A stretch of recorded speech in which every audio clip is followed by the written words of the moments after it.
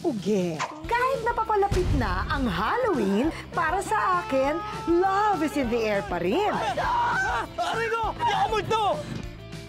Hindi ka nga multo. Meron ba multong nasaktan? Sinipa mo ako eh. Pero paano kung ang kakaibang love story ko'y pang rebound lang pala ni Mystery Boy? Iyaya kanyang lumabas. Tapos, in love pa rin siya doon sa ex niya. Abangan ang kwentuhan sa Dear Uge ngayong linggo pagkatapos ng Sunday Pinasaya.